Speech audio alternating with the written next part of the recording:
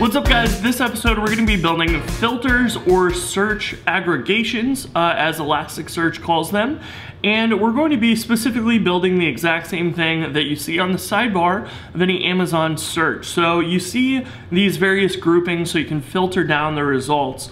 Um, and things like the display size for televisions here are actually a range. And so this 32 inches and under is saying we want all of the televisions up until 32 inches in display size.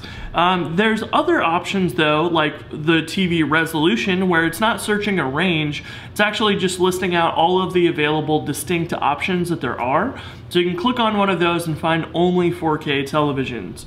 Um, model year works similarly to that, same with brand, and price is another range. And so we're gonna be implementing those in our Rails app.